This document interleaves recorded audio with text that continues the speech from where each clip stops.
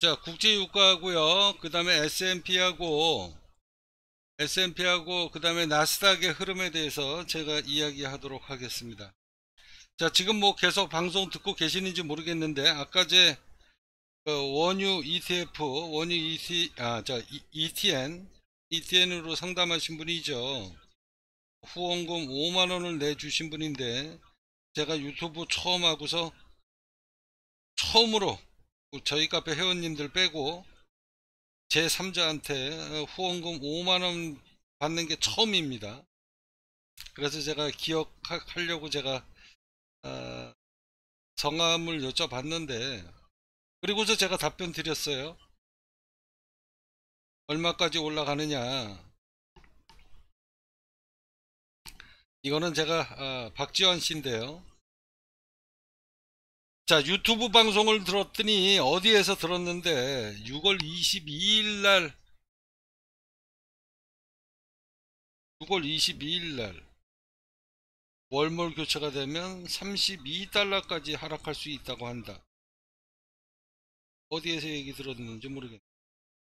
자 이번 주는 38달러까지 오를 가능성이 있다라고 해서 어디에서 개차반 같은 놈들한테 방송을 들었나? 어떻게 이렇게 지식이 없는 놈들한테 이런 방송을 들었는지 모르겠어요? 38달러 넘은 지가 언젠데? 제가 아까 제 말씀 다 드렸잖아요.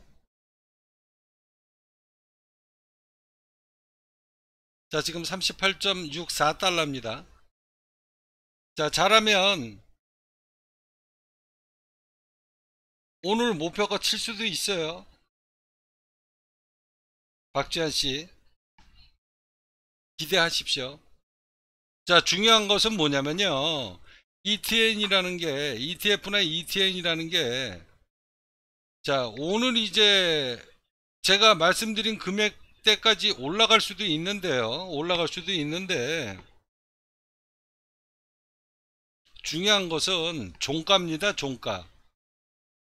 종가가 올라가서 끝나야 돼요. 올라가서 때려맞고 밀리면 밀리면은 이제 그게 이제 주가에 그만큼 덜 반영이 되는 건데 양봉으로 아주 꽉 차가지고 끝나면 어, 내일장에 어, 수익이 날 수도 있고 아니면 손실이 어, 최대한으로 줄어들 수 있습니다.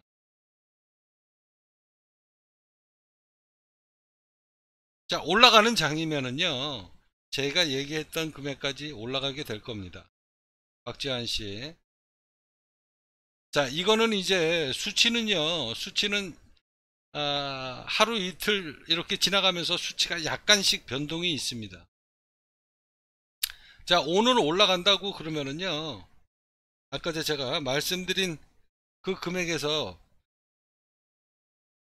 조금 더 올라갈 수도 있습니다. 플러스 10 정도를 더 하셔도 돼요.